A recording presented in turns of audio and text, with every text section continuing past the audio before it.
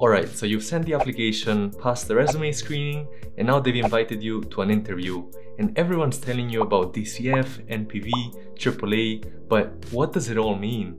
So welcome to the one video that will cover the most common finance interview questions that I and my colleagues have faced while applying to some of these companies, either for internships or full-time jobs.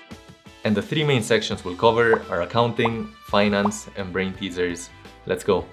First up, we have accounting questions, and we'll go over three of the most common ones, from easiest all the way to hardest.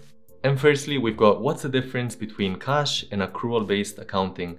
And basically, cash accounting shows a transaction when the cash has gone in or out of the company, while accrual accounting records a transaction only when the revenue has been earned or the expense has been incurred, even if the money hasn't been received or hasn't been paid till later. For example, if you sell 100 books to a university in January and they only pay you 30 days later in February, under cash-based accounting, it would only be recognized in the month of February when you actually receive the cash. On the other hand, under accrual accounting, it would be recorded on the month of the sale, which would be the month of January. Secondly, we've got how do the three financial statements connect?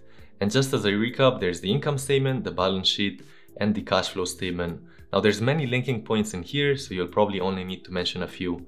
Let's go through them. First, we've got net income on the income statement, and that links to retained earnings on the balance sheet, as retained earnings is calculated as beginning retained earnings, plus net income minus dividends and that equals ending retained earnings.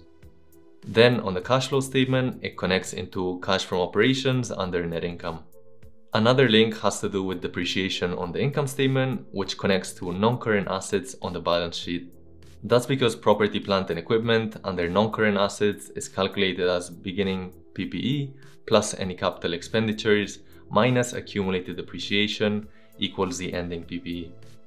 In addition to that, depreciation also links to the cash flow statement under operating cash flow and PPE from the balance sheet links to investments in PPE on the cash flow statement. There are a few other links in there like cash, but those two should be enough to prove your understanding of the three statements. And lastly, how would a $10 increase in inventory affect the three financial statements? In case you don't know, inventory is an asset that's expected to be sold. So for example, if you're a bookstore, your books would be your inventory. Assuming the inventory was paid in cash, on the income statement, it would have no effect. And the reason for that is that the inventory would only be recorded as an expense when it was actually sold. So if it stays in the warehouse, it wouldn't be the case yet. Then on the balance sheet, inventory would be up by $10 and assuming you paid in cash, cash would be down by $10, meaning that everything there would still be balancing. And lastly, on the cash flow statement, cash would go down by $10. Generally, with this type of equation, you should be able to answer it both in reverse. So for instance, uh, inventory going down by $10 or also with other line items like depreciation going up or down as well. Next up, we've got finance questions, and among the most common ones is what are the three main valuation methods? And these are the discounted cash flow, the comparable companies analysis, and the precedent transactions analysis. For the DCF, it's an internal valuation method, meaning that the company looks at their cash flows internally and their finances and tries to determine a value based on that. On the other hand, for the other two methods, the comparable companies has to do with what your peers, so comparable companies to you are doing and based on that you're going to be able to derive a valuation range for yourself using a ratio.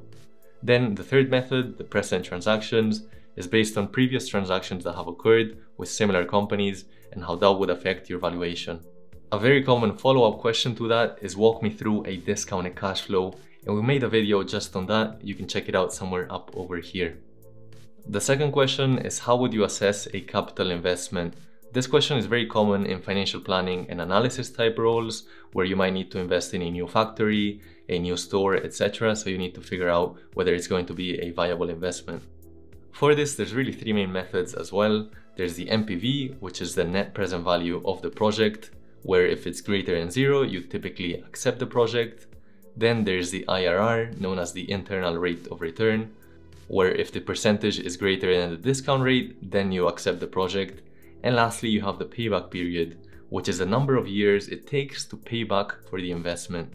This last one doesn't have a set rule when it comes to how many years it should take to recover the investment, as it depends on the company and how much cash it has in hand.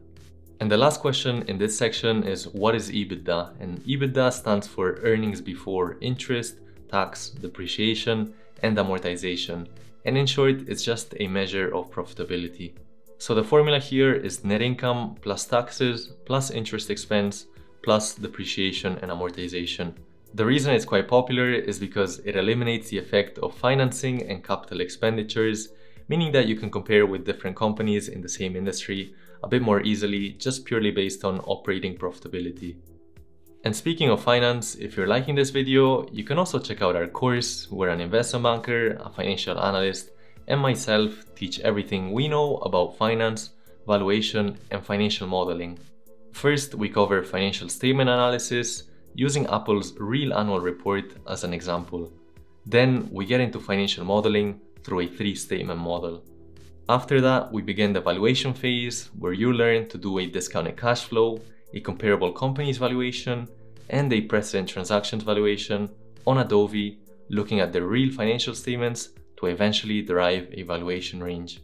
Lastly, we'll show you how to present an investment thesis using a stock pitch format. So if you're interested in checking it out, go to the link in the description below. Alright, back to the video. Next up, we have brain teasers, and these can generally be split into two main areas. One is mental math, and the other one is guesstimates, also known as market sizing. Let's start with mental math, and this is often just a calculation like 32 times 28. Now, if you're like me, you probably don't know the answer to that off the top of your head, but there are a few tricks in here that you can identify, so let me show you. In this type of question, you'll often notice a pattern. In this one, it's that both 28 and 32 are only two numbers away from 30. So knowing that, you can do a 30 times 30, which is 900, and that's not a very hard calculation. From there, you know that you've went plus 2 and minus 2. So if you times both of them, it's gonna be minus 4. So 900 minus 4 just ends up being 896, and that's the answer for you. And obviously the same thing applies to numbers that are maybe 3 away, 4 away, etc, etc. So that's one quick trick for you. Then there's the guesstimates and these are pretty random questions like how many gas stations are in the US or how much does your hairdresser make.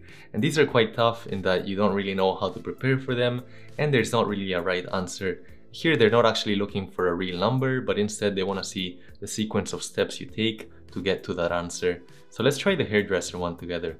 Firstly, we're gonna have to make a few assumptions. So let's assume that the hairdresser charges us $20 per cut and that takes around 30 minutes. Let's say that they're open for 10 hours a day, so that's 600 minutes. That means that they can take in 20 haircuts, assuming that the occupancy isn't full, which would equate to around $400. But we know it's unreasonable to think that they're always full during those 10 hours, so instead let's say their occupancy is at 75%, so that would give them around $300 in revenue per day. You probably noticed here that I went quite easy with the different assumptions. For instance, I assume that there's only one hairdresser, which simplifies my calculations, and the amounts are very simplified here. So maybe they actually charge me $18.5, but if you say that, then it's obviously gonna make your calculations a lot harder, so you're better off going with round numbers. And if you don't know the answer to some of their questions, it's best if you're honest and you just say so, as opposed to trying to answer it and getting it wrong. Check out this video over here if you want to learn more about the internships that I've taken, or this other link over here to learn more about finance and valuation. Best of luck with your interview, hit that like and that subscribe if you liked it, and I'll catch you in the next one.